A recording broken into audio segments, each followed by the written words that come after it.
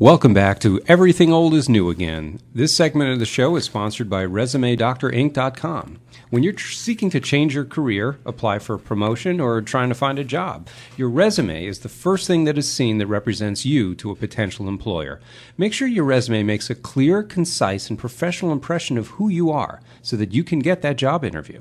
Send your current resume to resumedoctorinc.com for a free online review. You'll receive a timely reply with a reasonable quote to properly prepare your resume. ResumeDoctorInc.com has over 15 years of experience in this field. Let them make sure you have a resume that will get you noticed. Email them at resumedoctorinc at AOL.com. ResumeDoctorInc at AOL.com. Mr. Trump, you are someone to be admired. You have overcome obstacles to become a huge success. You've put up more worthless hotels than an autistic kid playing Monopoly. The last time a German looked this hot was when they were pushing Jews into the ovens. It is just. See, that's uh, honestly, I think I have a sense of humor, but to me, Joan Rivers and Lisa Lampanelli just now were not funny in the least to me. And to Dave, he loves it. Oh, I love it. I, don't know. I think there's a, a time and place.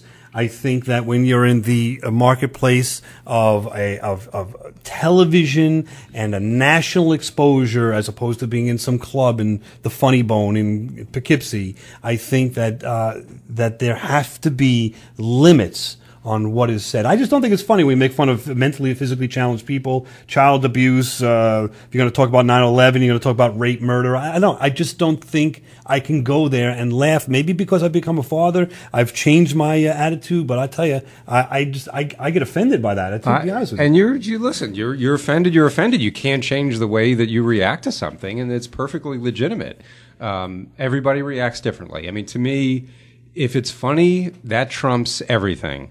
Uh, but when you're talking about a topic, an off-color topic, you better make sure it's funny because if it's not funny, then I agree w- with you. It, it could come off as just incredibly it just, insensitive. It just as a as a quick statement. I mean that that joke that Joan Rivers said. If she said that in nineteen you know forty eight uh, there would be right. there would be no laughter. So I think we, we do recognize that, and I do recognize that that society and mores and cultures change, and what is sensitive and not sensitive to people do change. But that brings up to to the point of of where we are today. Are we as an audience uh, too sensitive? Right, I think so. Look, I, am Jewish, but I love a good Holocaust joke. I mean, look, if it's if it's funny, I'm going to laugh. All right, and yes, definitely, you know the the the theory that comedy is is pain plus time. Um, definitely applies there. I agree with that. Uh, but you know, Doug, censorship is different today because it's it's not so much about using bad language because I think it's loosened up a lot um, on TV and, and just even in, in culture. Definitely. Um, I think what's different now is that every one of us, you, me, we're all part of some kind of subgroup. Okay, whether it's homosexuals or whether it's Jewish women or Italian men or you know what Italian have men you. have a group.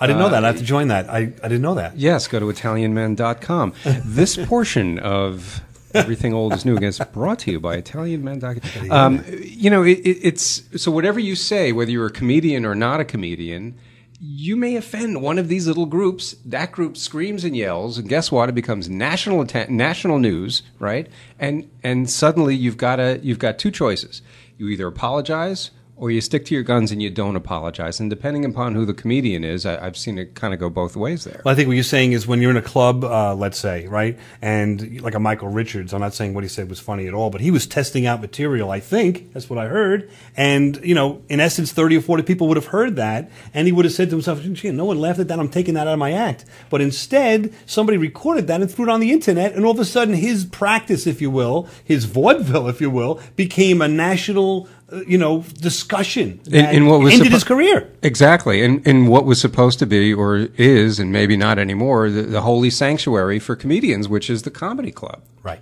Right. So the audiences are, I think, what we're saying here in some ways have are changing it in that we're not so much even thinking about. I mean, it's still there, the government with the FCC and so forth, but the audiences are censoring the. Let's put it this way: the young comics, at least, coming up and the comics and the clubs trying the material out, they kind of got to think, gee, is someone recording what I'm saying here? Well, you do and you don't because you, you don't want to fall in that trap about thinking about what you're saying is, is not going to go over.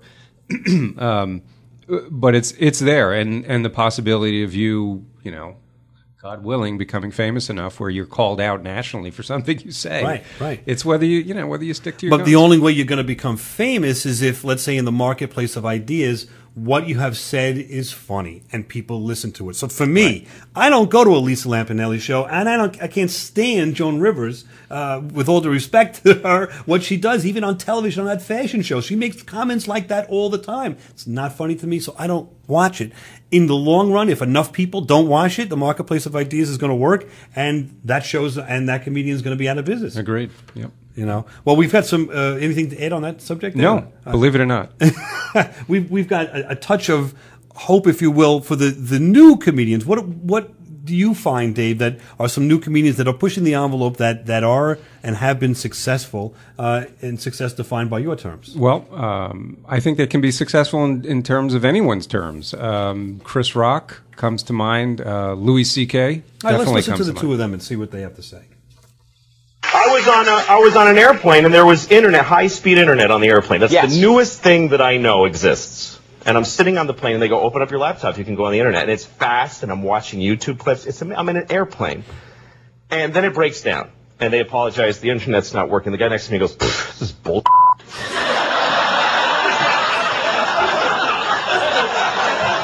like how quickly the world owes him something Yes.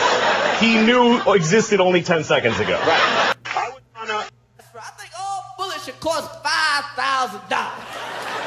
Five thousand dollars for a bullet. You know why? Because if a bullet costs five thousand dollars, there'll be no more innocent bystanders.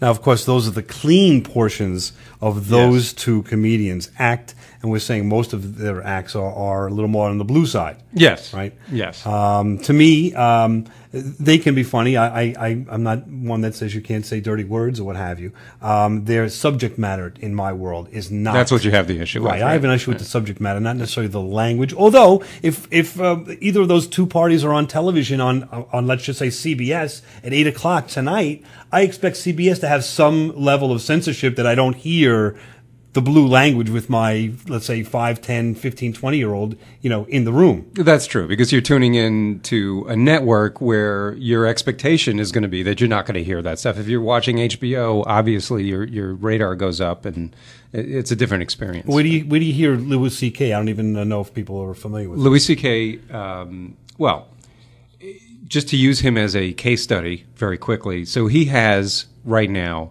uh, a, a very critically acclaimed show on FX called Louie, and it basically it's a little bit like Seinfeld in that it's about him as a stand-up comedian, about his family and and his experiences.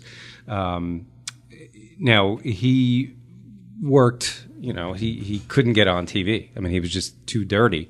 Um, so he, he was pretty clever because he was one of the first comedians to use digital technology and social media uh, to get his name out there um, he uh, actually i think a few years back did a movie self-produced a movie of him doing stand-up at the beacon theater and mostly to avoid uh, piracy, but also to avoid censors and, and you know big networks.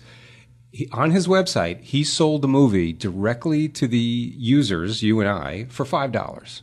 Five dollars, you can go on, you get the movie, and uncensored, hilarious, um, and you know a lot of the industry people were concerned about this. He made And big bucks. He made a million dollars in a matter of a week. Understood. So he's someone that you would listen to. I don't mean to cut you short. We're just running a little bit on time here. I just wanted to say that on the, the opposite side of the coin, we've seen Seinfeld, we've seen Tim Allen. To me, those are successful individuals, very clean. That's what uh, what I think we can aspire to. On the other hand, we spoke about a Don Rickles, and Don Rickles, to me, um, has kind of been able to break through this and in some basically told everybody listen we're all the same we're all people we can't, can't we just laugh at each other uh, and, and stop with all of this sensitivity all the time so we can just have some fun and by the way that'll all bring us together when we're all laughing in the same room as the melting pot that america should be if you will Yes, I, I totally agree with that. Um, I just think that you know Louis C.K. You talk about a household name. Okay, you go back to that Don Rickles.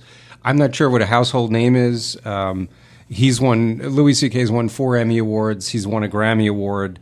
uh, critically acclaimed TV show, recognized as as one of the top stand up comedians in the country. So that's my example of maybe he's the modern day Don Rickles. I don't know because he he he can't do wrong. Well, sure not uh, Lisa Lampanelli. You know how hard she tries in, in my world. Uh, welcome uh, to the broadcast to all of you that are listening. We are everything old is new again. Please listen to us every Saturday night at twelve o'clock. Uh, if you miss a broadcast, our podcast is available on everythingoldisnewagain.biz. Next week, we are going to be discussing the re-release of the Beatles movie Hard Day's Night, which is going to be released on July 4th. We'll ask the question, is it enough already with the Beatles or not? Come on back.